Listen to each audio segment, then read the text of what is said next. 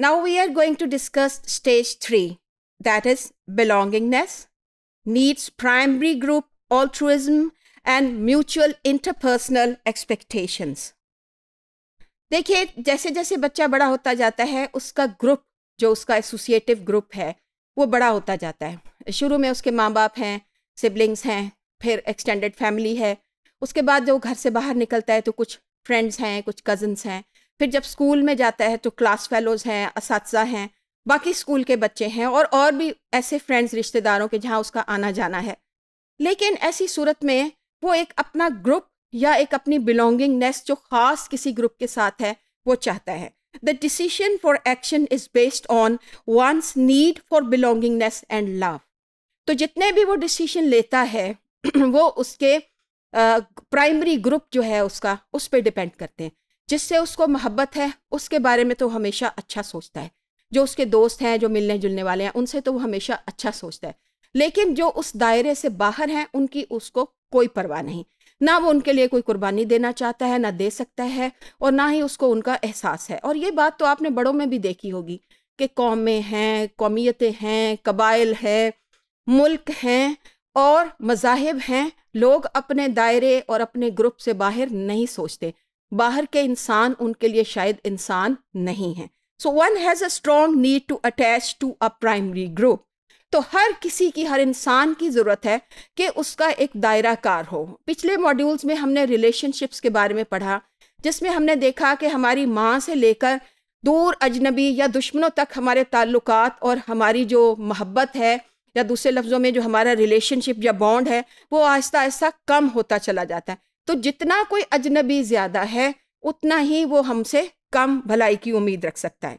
Primary group altruism ये है कि जो हमारा ग्रुप है, उसके अंदर तो हमने हर अच्छा काम करना है और अच्छा काम करना हम पसंद करते हैं।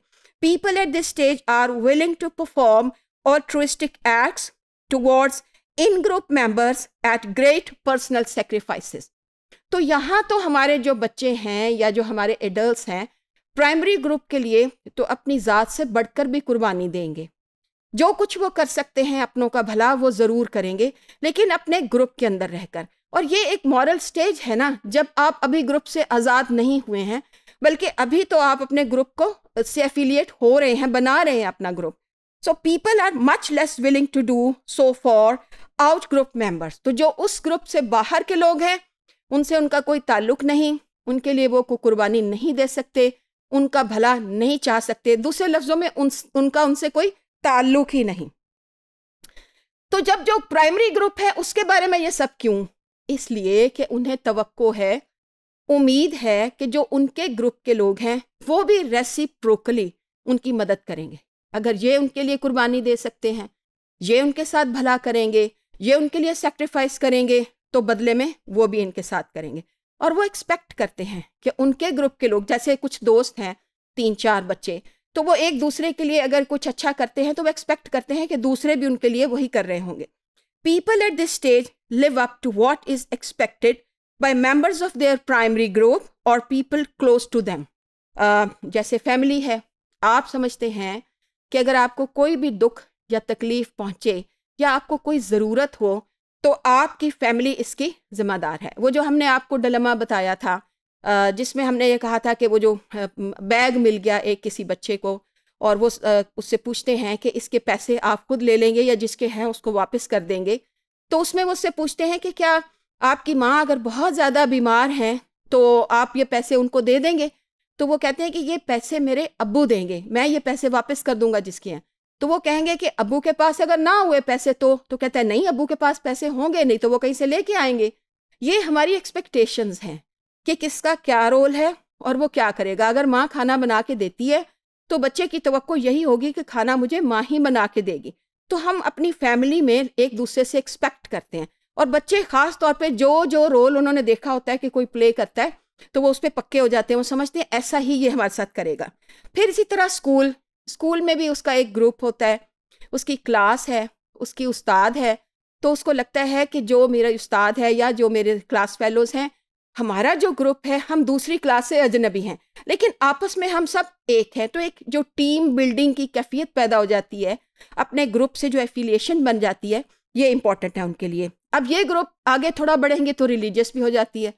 अगर कहीं ऐसी जगह हो जहाँ मुख्तलिफ़ मजाहब के बच्चे हों तो आप देखेंगे कि एक मज़हब के बच्चे आपस में करीब आ जाएँगे, क्योंकि वो समझते हैं, ये हमारी बरादरी है जो हमारे जैसे लोग हैं, इनका हमारे जैसा मज़हब है तो हम इनके ग्रुप से हैं।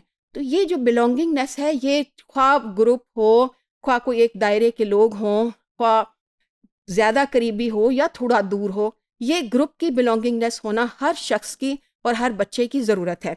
इसी इसी तरह पॉलिटिकल पार्टीज़ जब बाद में एडल्ट जो हैं, वो अपनी अपनी पार्टीज़ को ज्वाइन कर लेते हैं। अब अपनी पार्टी कहीं भी कोई भी बात गलत हो लेकिन वो पार्टी के साथ होते हैं। दूसरी पार्टी भले से अच्छा कर रही हो लेकिन वो आ, उसको बॉदर नहीं करते या उसका ख्याल नहीं करते।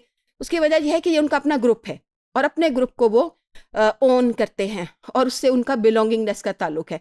लाइक वाइज सेम हमारे छोटे बच्चे जो हैं वो भी अपने ग्रुप्स बनाते हैं। ख्वा वो सिबलिंग्स के हों ख्वा वो उनके क्लासमेट्स के हों तो उस ग्रुप से बाहर फिर वो नहीं सोचते। अपने ग्रुप के अंदर उनकी बहुत सी तो होती हैं।